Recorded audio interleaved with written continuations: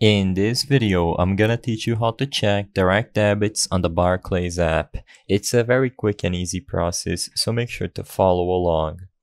First of all, make sure that the Barclays app is up to date and running the latest version, and after you update the app, if needed, open it up and sign into your account as usual. After you ensure that you are properly updated and signed into your account, just use the Pay and Transfer tab at the middle of the screen to see your direct debits.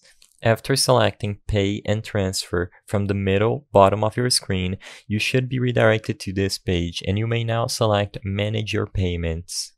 You will be re redirected once again and then you just have to select the first option manage direct debits or you can use the calendar if you have anything registered inside there.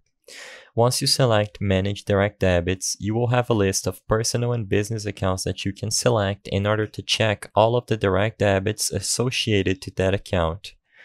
After you click on an account, you will be given a list of all the direct debits that you can sort by payment date or in alphabetical order, and if you click on it, you can also delete, delete the direct debit if needed.